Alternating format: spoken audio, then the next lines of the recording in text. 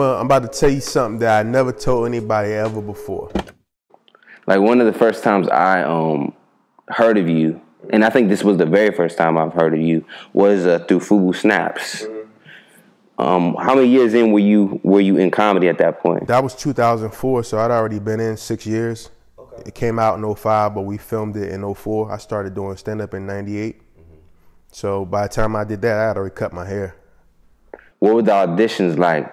Was it like did you have a, a contact to get in there or? Uh, Jonathan Martin, good friend of mine who actually I've known since kindergarten. He he opens for me on tour. We you know we grew up together. He told me about it, and that's what we did. We grew up. We call it hiking where I'm from.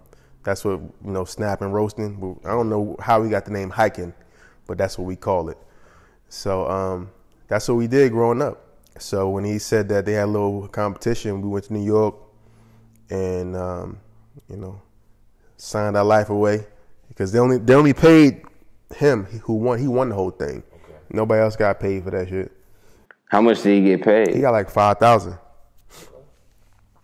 You know, Daymond John, Fubu, he was he he knew what he was doing. Fubu had already burned out pretty much.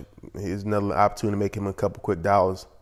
and not really. You don't think it was like genuinely trying to invest in the talent. It was more so like a marketing opportunity. I don't know because it ain't like he tried to provide opportunities for us after that. You know what I'm saying? Jonathan won ain't like he took him on some type of tour. It was like, you know, a bunch of niggas that was like, yo, we probably sitting around like, yeah, we should, you know, make a video of niggas roasting on each other. But this shit had been done several times already. You know, they did it on Uptown Comedy Club, uh, and they had the show Snaps on HBO. That shit wasn't nothing new. Um, but it was just like a, it was a, a dope, it was a dope competition. It was funny. Right. And and one part part that I specifically remember is you went up against this young woman and you end up going so hard. I don't know how many rounds were happening before that, but you end up going so hard you made her like cry. Right. And and that was like real. Did she really cry?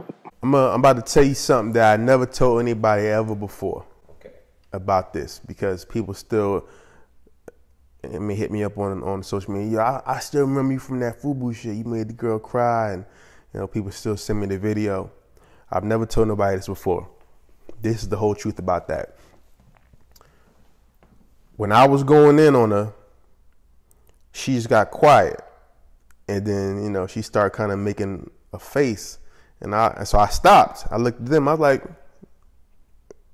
they was like, keep going, keep going.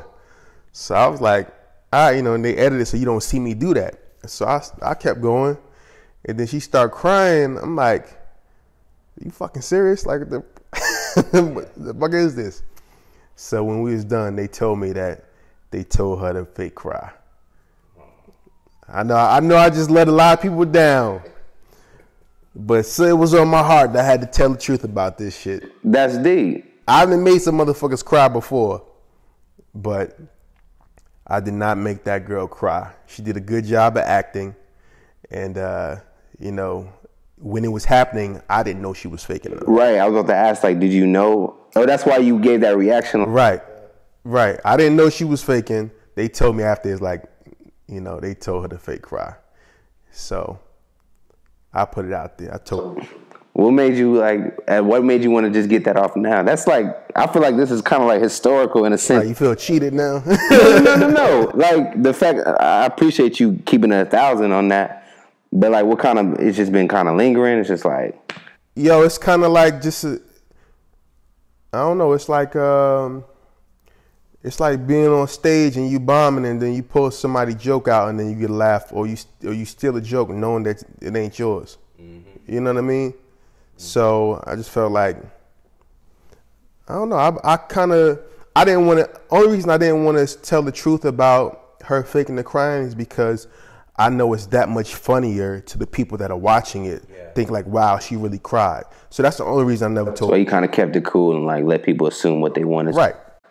That's fair. That makes that makes sense because like yeah, it is like it's like when you um I think some of these reality shows we we learn later that they're fake. Right. Remember when reality shows first came out, we weren't low key hip to the game. We like oh, and then you start learning about it. So Right. I definitely understand that. Yeah, so I I don't want to take I don't want to take uh, res- credit for that last extra laugh that I really didn't deserve. I mean, everything I said to her, I was killing her. I was roasting the shit out of her, but the crying part, she faked that.